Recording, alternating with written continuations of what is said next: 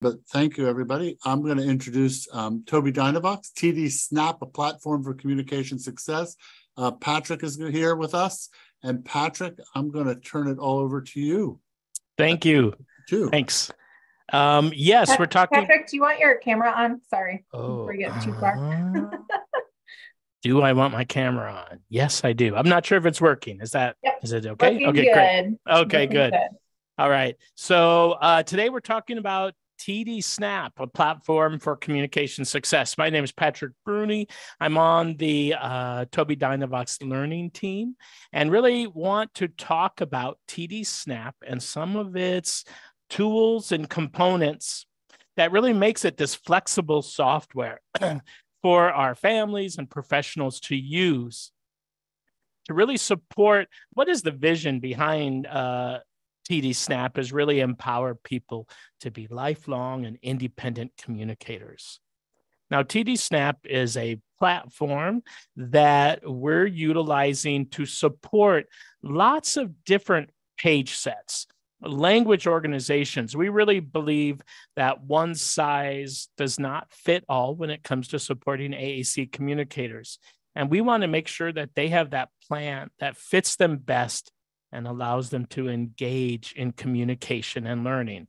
Now, all of these page sets are a part of TD Snap. You choose the one that supports you the most. We have several offerings in this symbol user, text based users. And then I don't know, I kind of just think of this as sort of a, an other group of, of aphasia and uh, one specific for um, scanning. All of these page set options are included in your TD Snap software. A few of them are available through in app purchases, but even those are available for 60 day trials. Now, as we go through these rest of these 10, 10 or so minutes here, I just want to talk about one of our page sets that's this newest option, our motor plan page set. Going to review how easy the customization, because again, as Snap as a platform, all of the page set options use the same customization, the same editing. And then I want to talk about the TD Snap Boardmaker library, the player that is a part of the Snap platform. So it's available across all the different page sets. Now, we're only going to get into just a little bit of the TD motor plan page set, just some of the key features. I'm going to show you the Learning Hub at the end and our uh, Tobii Dynavox Learning Hub. We have recorded and live webinars on all of our software and hardware, and we have an extended version of this motor plan page set. But really, these key features, there's only a couple that I want to highlight just within this, this session. And one is this idea that the grid size, there are two grid size options with the motor plan page set. You have the 30 and the 66 motor plan. They both work the same operationally. And what I mean by that is navigation begins and ends on the home page. When you select the vocabulary button, that goes into the message window, and then you automatically re- return to the home page. So that really facilitates this learning and developing of automaticity. But I think what's so important is the vocabulary is the same between each of these grid sizes. So each one has 2,700 words. The majority of words can be accessed with three hits or less. So no matter the grid size you choose, you still have that robust vocabulary. And I think it's important to note, and probably one of the biggest takeaways that I'd, I'd like to think about with this motor plan page set is that the grid size options offer that same vocabulary, that same motor efficiency. So motor plan 30 might be really useful for individuals who need larger buttons due to access reasons or visual processing. And even though that AAC user is presented with fewer buttons per page, the motor plan 30 or that 30 button grid size still provides that same efficient and robust vocabulary, the same as the Motor Plan 66. And when you think about it, it's not always the case when interacting with a smaller grid size. You will not end up compromising on vocabulary or access to the language with the smaller grid size. Motor Plan 30 solves that issue. In fact, when they were developing this page set, that's where they started first was with the Motor Plan 30. And they thought if we can make this successful, then the 66 will even be easier to make as far as efficiency goes. So it's really exciting to think about that you can choose the grid size that really supports your communicator. Now, there's just a few things that I want to talk about here, and these are standard across the grid size of 30 or 66.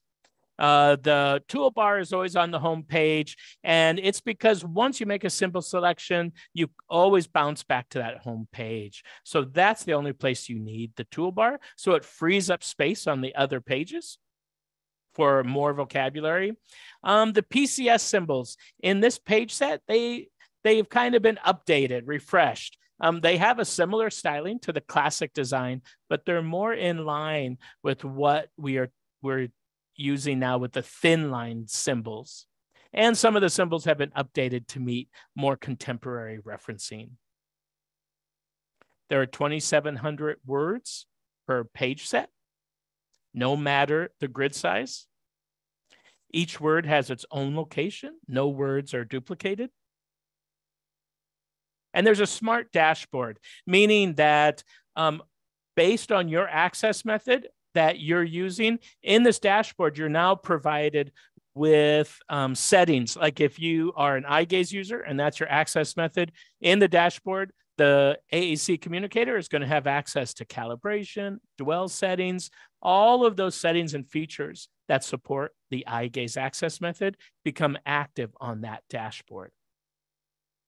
And then, of course, we have the keyboard and quick fires, things to continue to develop language and learning and literacy. Um, each page, we really believe that in this page set, we think customization is important. So you're always going to find extra space so that you can add um, customization for these pages. And one more feature that I think is important um, is that on every vocabulary page, you're going to find this, and almost in the same space on every page, the uh, category name of the vocabulary page. And it's been found that it's really important when first learning categorization of words that you see that category name there. But we were also thinking in the development that it's important in terms of supporting the use of descriptive language inevitably there's going to be a word that is just not part of the system. In fact, it's not functional to put every word possible for those for our AC users. But this idea of having the category or that description button right there allows this idea of beginning to use those categories, those words in descriptive language, being able to describe the word they're looking for. So having the category name on each page is a way to support that language learning process. And then finally is the uh, one of the tools that we have are the vocabulary filter. And I'm just going to jump into the software real quick here and just show you this uh, vocabulary filter. And the idea of the vocabulary filter is either to maybe start with a smaller set of vocabulary and then slowly grow it as that AAC user becomes more confident with their system, or maybe it's used to target within a curriculum uh, activity or within some therapy session, target some specific vocabulary. The filter is right here to turn it on and off. And this is password protected, so you can uh, make that so it's not as easily accessible. But I'm going to turn the filter on, and now you can see all the buttons have this gray uh, um, cover over it, which just means that they are not available for the AAC user. So I can just go through and start to click through what I want to have available to that communicator. I can go into any of these categories and they become active. And I always like to show the category name. And then maybe there's a few other options here. I can go back and maybe do places and do a couple things there. And you just click through, very easy. Now, when I hit done, go back to home. Here are the words that I've made available. I can go right back into the vocabulary filter and just start adding some more words.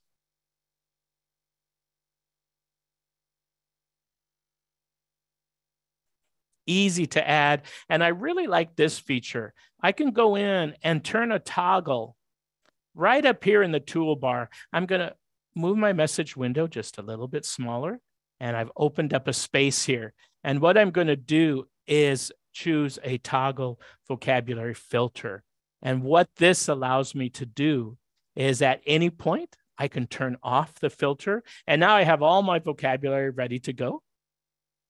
So if there's something maybe I haven't made available, I can use this off and on filter right here that allows me to get to access. But I think more important, even you know, than me having access to it, it's our AAC communicators to have access to that filter, so they can go ahead and even though we might be highlighting some vocabulary for uh, curriculum, they can go ahead and uh, turn that off and on.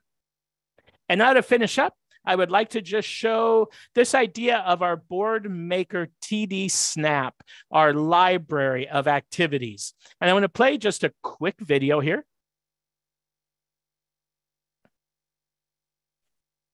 Have you ever wondered how you can quickly and easily use the accessible books or interactive activities from Boardmaker with your Snap users? Well, Snap now includes an integrated Boardmaker player. With the integrated Boardmaker player, no matter which page set you're utilizing in Snap, you have the ability to access the Boardmaker library to browse and play preloaded activities. These activities include an accessible bookshelf with a variety of books, accessible games, a calendar, math tools, as well as samples from some of Boardmaker's most loved curriculum titles. This integration of Boardmaker and Snap also allows you to add Boardmaker activities you have made or found within the community to use in the Snap software. Having access to this collection of activities right in Snap allows easy and quick access without switching software or having to download another application. So now I want to just for time jump into the software because what this allows us to do, and this is standard across the TD Snap software, so it's in every page set. You can add the functionality of the Boardmaker activities. This library takes you right to a set. This is available for every page set. It's standard. Here's a bookshelf that now is a series of core books that are completely accessible based on whatever access method you're using, as well as the ability to bring um, books that are in the activities from the Boardmaker community, which is about over, uh, I think, over a hundred thousand activities or more right now in the Boardmaker activity. Uh, in the library, community library. And I just brought this one down just earlier uh, today. And it's a book on, it was a um, for Stranger Things. And again, fully accessible no matter what access method you are using. So not only can I make my own activities within Boardmaker and bring them into the player, I can use some of the standard activities that are already part of the library. And I can make and I can pull activities down from the community of the Boardmaker uh, site and bring them right into my uh, software. You do not need to have a subscription. You can create a free account in Boardmaker and you can access all of the activities in the library, such as this one. And it makes it fully accessible. That's right.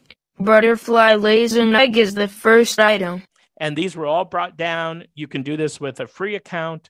You can't customize, but you can utilize all those activities that are there in the community account. If you have your own subscription, you can play, you can create your own and bring them in. All right, so TD Snap, it's just a set of tools. It's a platform that we really believe provides our communicators with the most support for both communication and learning. We have our learning hub at learn.tobiidynavox.com. And that right. will uh, get you to more information. All right. And Thank you. now, yes. Thank you, Patrick.